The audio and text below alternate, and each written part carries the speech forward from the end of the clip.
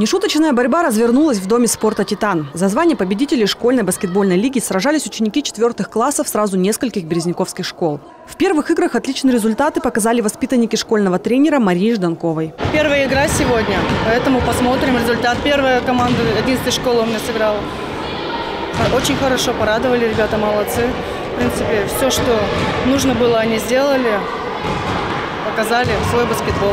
Сейчас буду ждать результатов второй команды. Юные спортсмены буквально вгрызались в мяч. Уступать победу противнику никто не планировал. У них защита была.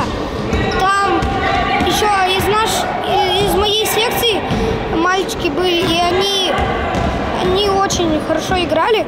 И из-за этого было сложно пройти на проход.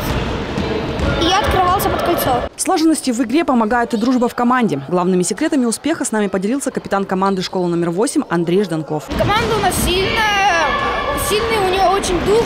Мы общаемся с каждым, мы очень, мы очень дружелюбные. И мы, не, конечно, мы по разным классам раскиданы, но мы все равно все вместе дружим.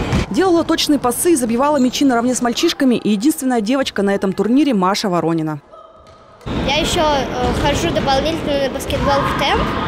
Мы там играем тоже с мальчиками и с девочками тоже. Мы с девочками играли в темпе, а вот с мальчиками я уже давно играю тут. Мне нравится. Не тяжело с парнями? Нет. Школьная баскетбольная лига «Калибаскет Юниор» уникальна. Она единственная в стране. Игры проходят одновременно в двух городах – Березняках и Соликамске. До сих пор никто не проводит такую лигу, как э, город Березняки и город Соликамск. Э, Все это проект компании «Уралкали», который развивает детский баскетбол уже на протяжении 8 лет.